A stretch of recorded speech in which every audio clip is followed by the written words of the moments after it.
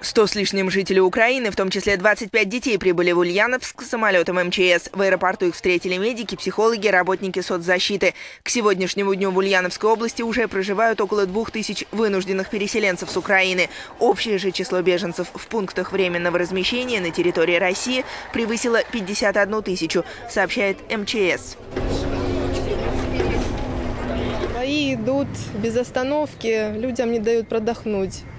В общем, тех, кто выехал, еще более-менее, а тех, кто остался, уже возможности выехать практически нет. Света нет, воды нет, газа нет, ничего нет, продуктов очень мало. У нас там мама осталась. Пытаемся периодически созваниваться, телефонной связи тоже практически нет.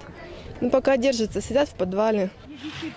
На Донбассе тем временем продолжается наступление украинской армии в рамках плана по взятию Луганска и Донецка, находящихся в зоне контроля сепаратистов, сообщают украинские СМИ. Уполномоченный по правам человека в Российской Федерации Алла Памфилова рекомендовала беженцам готовить иски в Европейский суд, чтобы возместить ущерб от потери имущества на Украине. И вот там возле садика на центральном входе два, два залетело.